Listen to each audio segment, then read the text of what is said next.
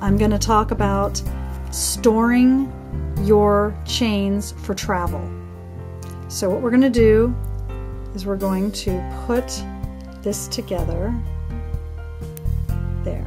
So the clasp is together.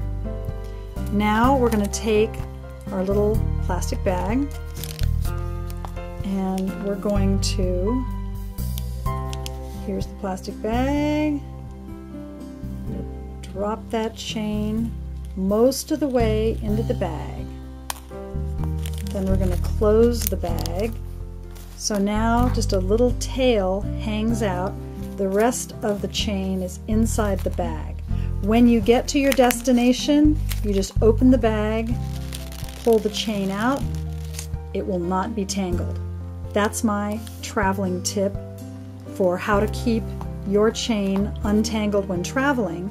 And if you have a chain this fine, and this is a super fine chain, like I could just yank it and break it.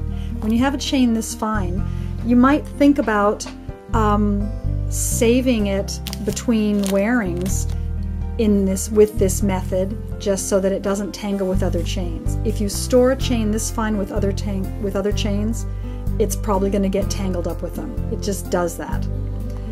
Anyway, that's today's video.